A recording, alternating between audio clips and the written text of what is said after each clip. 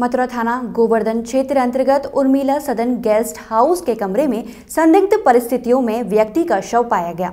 बताया गया है कि मृतक किसी महिला के साथी के साथ गेस्ट हाउस में ठहरा था, लेकिन साथ की महिला मौके से फरार चल रही है। पुलिस घटना के कारणों की जाँच में जुटी हुई है। मथुरा के थाना गोवर्धन क्षेत्र अंतर्गत उर्मिला सदन में उस समय सनसनी फैल गई, जब एक कमरे में ठहरे युवक का शव उसी के कमरे में पड़ा हुआ मिला और उसके साथ आई युवती मौके से फरार हो गई।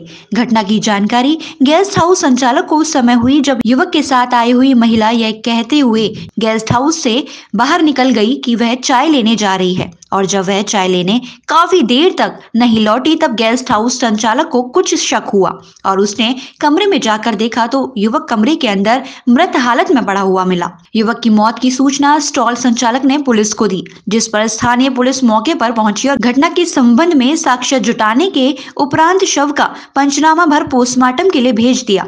साथ ही गेस्ट हाउस में हुई एंट्री एवं अन्य दस्तावेजों के आधार पर उस महिला की शिनाख्त की जा रही है, जो मृत युवक के साथ कमरे में आई हुई थी। ये घटित हुई है सुबह छः, सवा छः बजे करीब मैंने गेट खोला है मेन गेट। तो मेन गेट खोला है मैंने सफ़ाई वफाई की है वो लेडीज़ बाहर से कुंदी लगा के और वो चाय लेने के लिए कैसे वो निकल के चली गई।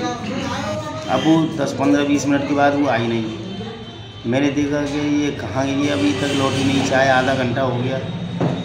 तो फिर मैंने गेट बजाया।